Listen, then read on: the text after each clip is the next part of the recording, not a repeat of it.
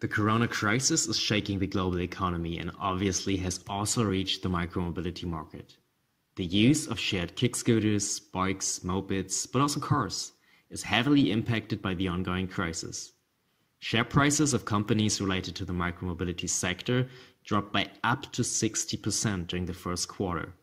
This article is not a complete picture of the market, but gives examples of a complex and currently very volatile matter.